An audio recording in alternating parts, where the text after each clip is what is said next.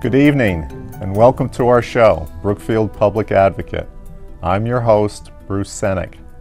Tonight's guest is Aaron Boyd, editor of Brookfield Patch. First, a little background on Aaron.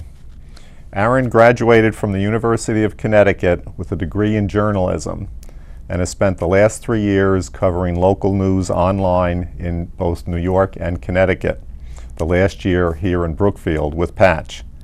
He came to Patch in February of 2010 after having worked as news editor for an online publication on Long Island. Aaron, thanks for coming and welcome to our show. Thanks for having me, Bruce. Aaron, please give our audience a little background and, and history of Patch. Sure.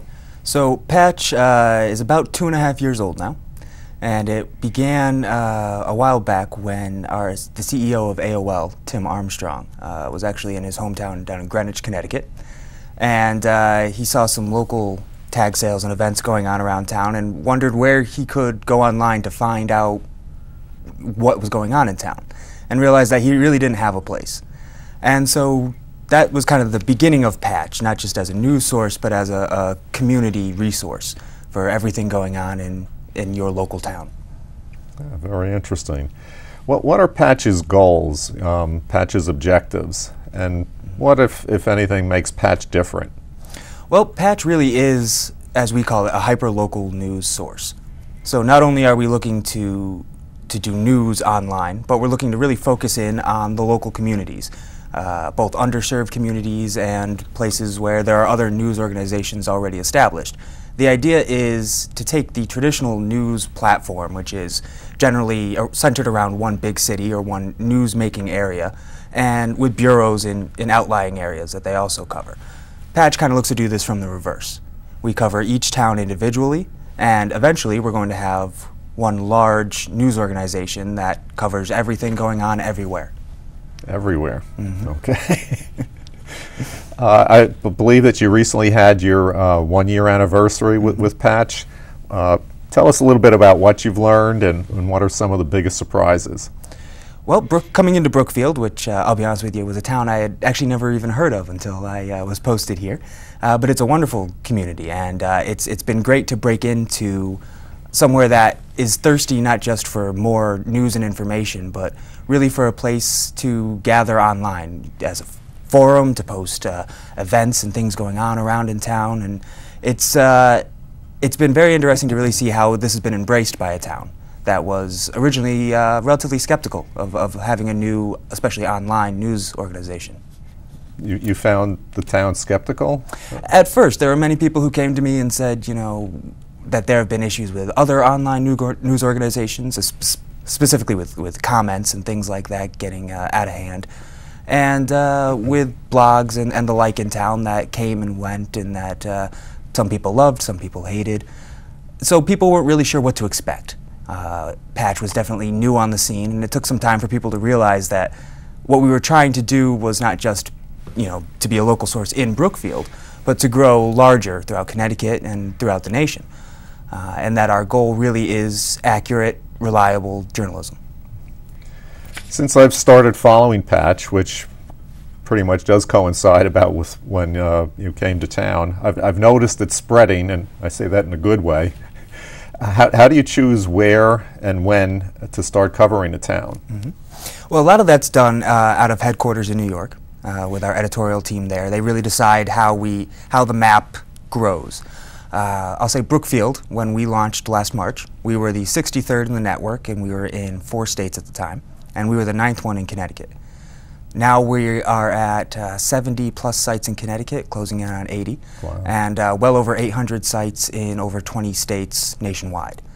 So the idea behind how we grow is really we focus in a lot on underserved communities, uh, similar to Brookfield, which has other news sources but lost its own dedicated news source a few years back. Right. Uh, and we also look at communities that really have strong ties to the internet, uh, where we see a lot of internet use, a lot of computers in the homes, and uh, other news sources online that have really kind of gotten the ball rolling, getting people used to accessing their news online. Yeah. You, mentioned, of course, a few years back uh, losing the, uh, the Brookfield Journal, now the Housatonic uh, Times, and with their recent pullback you know, of, the, of the weekly paper to, to our north, one less source of local news. Uh, tell us how online news can help increase civic engagement and access to information. Mm-hmm. Well, you know, by being online, that gives us a, a number of opportunities. One is we're not restricted by space. Uh, this becomes readily apparent in things like the current budget debate. Uh, we can post the entire budget online.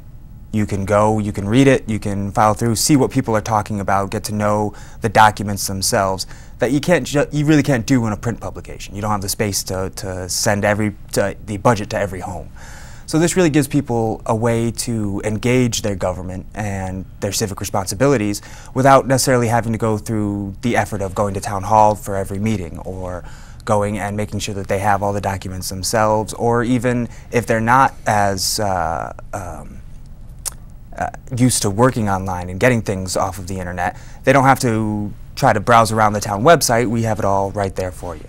So it does allow people more access to information that uh, just wasn't there before. Yeah, and, and you mentioned, uh, I recall, the online version of the Danbury News Times, and I think the comments um, mm. did, did get a little out of hand, and I, I don't even know if they allow them any longer. But um, you know, I, I, believe comments in space that have been lost to post letters to the editor and other opinions can shape dialogue in the community. Can you expand on that? Uh, do you have any specific situations? Sure. Uh, I think one great one was uh, the Kids Kingdom debate recently. Uh, we had a lot of strong opinions on both sides of the matter. Uh, everybody wanted the playground uh, renovated and, and, realized that it was something that had to be done in town. But the actual method and, and how it was going to be done was put to question and eventually put to a referendum. We had uh, many, many letters to the editor come in, many comments on stories as they came in, and you could really see the debate going on in town right there in front of you for everyone to see. It was no longer pockets of people in town getting together to, to discuss what they thought before going out to vote. It was the entire community getting engaged in one place. And while it may not have been everyone in town engaging every day, it, it was clear to see that people were having this conversation now in an open forum and uh, one that was freely accessible. I, I, have noticed on the comments, uh, I think there's a little thing you can click on as flag is inappropriate. Mm -hmm. does, does, that happen very often? And is there any kind of screening that um, you know is, is, done by either yourself or, mm-hmm. or the or Patch? Well, I am really the, the, last line of defense for everything that goes on in Brookfield Patch. We do have support from headquarters in New York and other people who, who work with us here in Connecticut, but really the local editor is uh, the one who monitors everything that goes on on their website. And uh, with ours, I do monitor every comment that's posted, make sure we read through, make sure it doesn't violate our terms of service.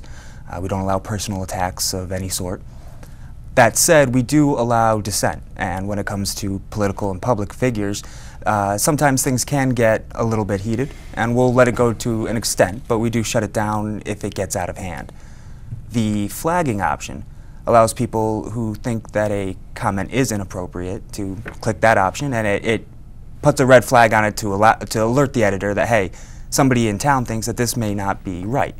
And in fact, if a story is flagged by three different users, uh, readers, uh, it will be taken down temporarily until it's evaluated, and then the editor makes the final decision. Hmm. That's very interesting. Mm -hmm. Tell, tell us, tell the audience how the industry is being affected by the ever increasing shift to online news. Well, you know, news has certainly picked up the pace. Uh, even with the advent of cable news and the 24-hour news cycle, it was already starting to speed up. But with online news, we really are in a instant, instantaneous uh, mode now.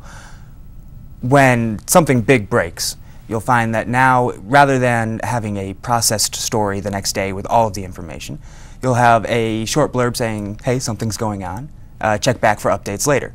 And so then news becomes more, you can see the evolution of uh, the journalistic process. You can see how when we hear about something, it gets posted to let you know that something's going on. As we get more information, you see how that information comes in and how it molds the facts and how it molds the story. So not only is it now faster, but it's also a lot more transparent. Seems to me like there's a lot on your plate. and do, do you have time to sleep? Uh, tell us how much time, uh, you know, or, or, if there's a normal routine that you that you have during the sure, day. Sure, sure. Well, uh, yeah, I, I, tend to be a bit of a night owl. So uh, I do work late into the night getting the, but I think that's normal in, in journalism. Uh, normally people read in the morning, so you get everything kind of put together at night for the next day. Uh, so I usually may wake up, uh, you know, around eight or nine in the morning, maybe even a little later on some days if I can. And uh, you know, the day kind of starts off answering emails. Usually wake up to about 70 to 100 emails. Really? Uh, take care of all those procedural things. Uh, take care of my freelancers, all that kind of stuff, and uh, then start reporting and writing. And uh, most of the day is taken up talking to people on the phone, visiting with people for interviews out there in the community taking pictures or just talking to people, maybe not even for a story, just to get to know what's going on in town. Uh, it is a 24-7 job. You learn to weave your life into your work. uh, so when people ask, you know, how many hours a week do you work? Well, it, you know, 24/7. It, it never actually stops, but at the same time, it's uh, it's nice because you do control your own schedule. You know, it's uh, it's a good it's a good way to live, I think. Yeah.